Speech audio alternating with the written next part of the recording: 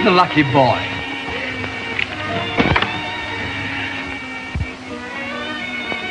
Oh.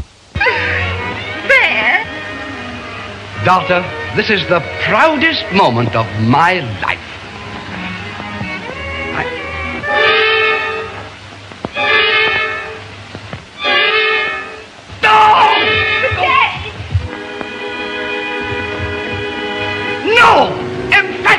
No! A thousand times no!